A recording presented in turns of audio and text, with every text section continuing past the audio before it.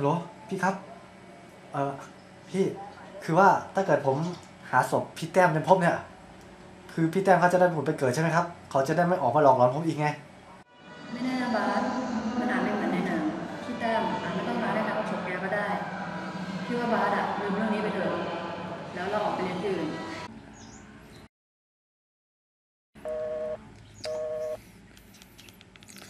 โถย